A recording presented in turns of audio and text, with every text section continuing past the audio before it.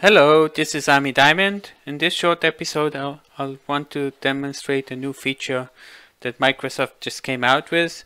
It's rich text editor in a grid view or quick edit. So uh, in order to do that, we will create a new list. I'll go to the site new and choose list. Choose a blank list. Let's call it uh, demo By the way, it, it can work in Microsoft lists as well. Now I'm on a SharePoint. Now I, I will add a column which is multi-line and text.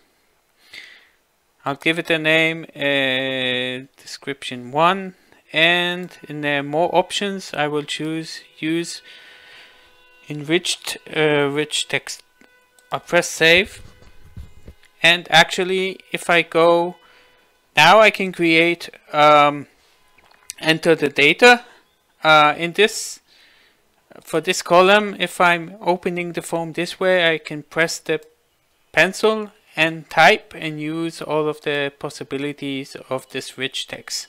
This wasn't here now, so it's not new. Uh, we also know how to use it from uh, Office uh, applications.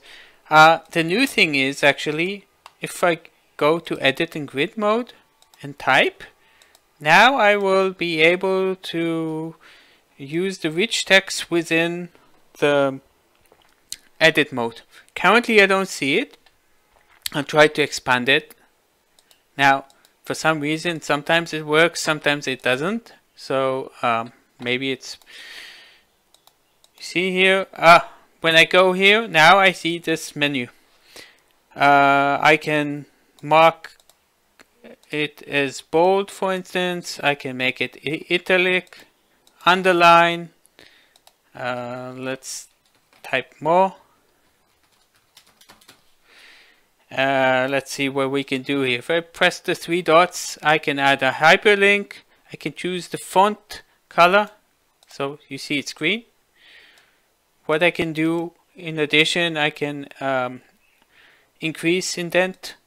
So it goes step forward, I can bring it back, I can clear the format, and uh, all of the things that I can ev even add a image. Uh, currently it's just to a link. I think it's not that good. Uh, but if we upload an image in advance, then we can put the link and it will uh, insert it. So uh, actually the new behavior is uh, instead of the new form but in edit grid or quick view you can actually uh, use the rich text experience. As you noticed uh, I made it wider because it's really not comfortable to, to work that way.